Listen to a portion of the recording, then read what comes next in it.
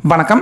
இன்னைக்கு Border Gavaskar test series ஆட்டம் பரபரப்பாக நடந்து முடிஞ்ச உடனே பார்த்தீங்கன்னா நம்ம பிசிசிஐ இந்த ஆண்டின் இரண்டாயிரத்தி இருபத்தி மூன்றில் நடக்க போகிற ஒட்டுமொத்த ஐபிஎல் ஷெட்யூல்டை இப்போ அதிகாரப்பூர்வமாக வெளியிட்டிருக்காங்க. ஸோ அதனால் இப்போ நம்ம சிஎஸ்கே அணி விளையாட போகிற மொத்த பதினான்கு ஆட்டங்களுடைய அஃபிஷியலான ஷெட்யூல்டும் பார்த்தீங்கன்னா இன்னைக்கு வெளியாகிருக்கு இதில் நம்ம சிஎஸ்கே ரசிகர்களுக்கு ஒரு மிகப்பெரிய இன்ப அதிர்ச்சியை பார்த்தீங்கன்னா இப்போ நம்ம பிசிசிஐ கொடுத்துருக்காங்க.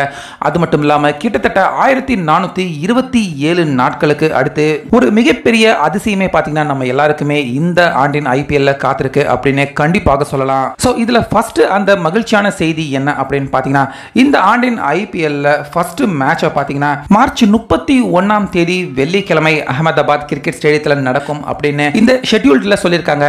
இதில் ஹாப்பி நியூஸே என்ன அப்படின்னு பார்த்தீங்கன்னா குஜராத் டைட்டன்ஸ் அணி நம்ம சிஎஸ்கே அணியை எதிர்த்து தான் முதலாவது ஐபிஎல் ஆட்டத்தை இந்த ஆண்டு விளையாட போகிறாங்க அதுக்கப்புறமா நம்ம சிஎஸ்கே அணி ஏப்ரல் மூன்றாம் தேதி நம்ம சென்னை சேப்பாக்கம் மைதானத்தில் லக்னோ சூப்பர் ஜெயிண்ட் அணிக்கு எதிராக இரண்டாவது ஆட்டத்தை விளையாட போகிறாங்க ஸோ இந்த ஆட்டத்தில் தான் பார்த்தீங்கன்னா கிட்டத்தட்ட ஆயிரத்தி நானூற்றி இருபத்தி ஏழு நாட்கள் கழிச்சு நம்ம சென்னை சேப்பாக்கம் மைதானத்துக்கு நம்ம எம்எஸ் தோனி அவர் கம்பேக் கொடுக்க இருக்கிறாரு. அந்த வகையில் ஆயிரத்தி நானூற்றி இருபத்தி ஏழு நாட்கள் கழிச்சு நம்ம சென்னை சேப்பாக்கம் மைதானத்தில் நம்ம எம்எஸ் தோனி அவரை பார்க்கறதுக்காக ரசிகர்கள் கண்டிப்பாக மிகப்பெரிய அளவில் குவிவாங்க அப்படிங்கிறதுல எந்த விதமான சந்தேகமும் இல்லை. அடுத்து மூன்றாவது ஐபிஎல் ஆட்டத்தை பார்த்தீங்கன்னா நம்ம சிஎஸ்கே அணி ஏப்ரல் எட்டாம் தேதி மும்பை இந்தியன்ஸ் அணிக்கு எதிராக மும்பை வாண்டடே மைதானத்தில் விளையாட இருக்கிறாங்க.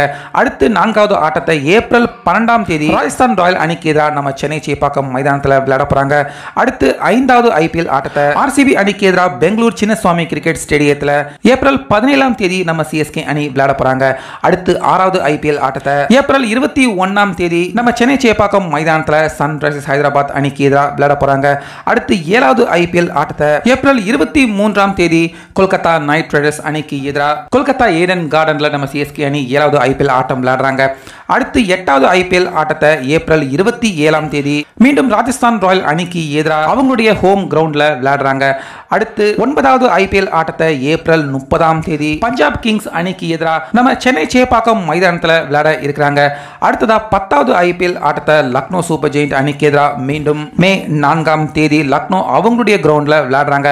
அடுத்து பதினோராவது ஐபிஎல் ஆட்டத்தை மே ஆறாம் தேதி மும்பை இந்தியன்ஸ் அணிக்கு எதிராக நம்ம சென்னை சேப்பாக்கம் மைதானத்தில் மே ஆறாம் தேதி நம்ம சிஎஸ்கே அணி விளையாடுறாங்க.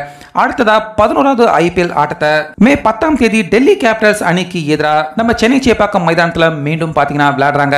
அடுத்ததா பதிமூணாவது ஐபிஎல் ஆட்டத்தை மே பதினான்காம் தேதி கொல்கத்தா நைட் ரைடர்ஸ் அணிக்கு எதிராக மீண்டும் நம்ம சென்னை சேப்பாக்கம் மைதானத்திலே அதாவது மூன்று ஆட்டங்கள் வரிசையாக நம்ம சென்னை சேப்பாக்கம் மைதானத்தில் மே பதினான்காம் தேதி நம்ம சிஎஸ்கே விளையாடுறாங்க.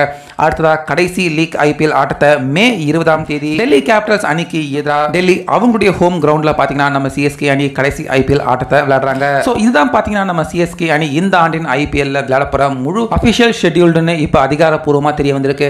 ஸோ ஆயிரத்தி நானூற்றி இருபத்தி ஏழு நாட்கள் கழிச்சு நம்ம சென்னை சேப்பாக்கம் மைதானத்தில் நம்ம எம்எஸ் தோனி அவரை நம்ம சிஎஸ்கே அணியின் ஜெர்சியில் பார்க்க போகிறோம் இதை பற்றி உங்கள் கருத்து என்ன? அதே போல் இந்த ஷெட்யூல்டை பற்றியும் உங்கள் கருத்தை கண்டிப்பாக கமெண்ட்டில் சொல்லுங்கள் மீண்டும் அடுத்த வீடியோவில் சந்திக்கலாம்.